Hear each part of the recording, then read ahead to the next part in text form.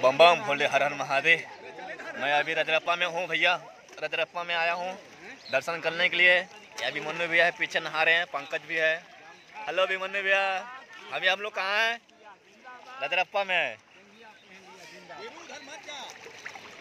आहा। आहा। बहुत मज़ा आ रहा है।